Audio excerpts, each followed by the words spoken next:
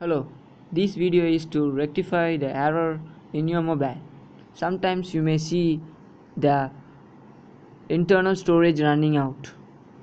This is due to the storage problem.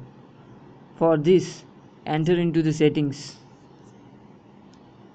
From that, you may see the storage option in the mobile. Enter in the storage option. You may see number of things like available downloads audios pictures from this enter the clear data or clear the clear data from all apps. Yeah now it is clearing.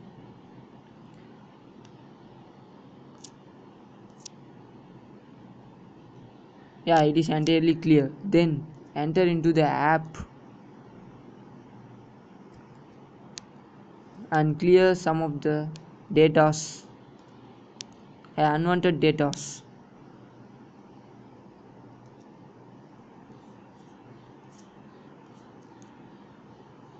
Or may uninstall some unwanted apps.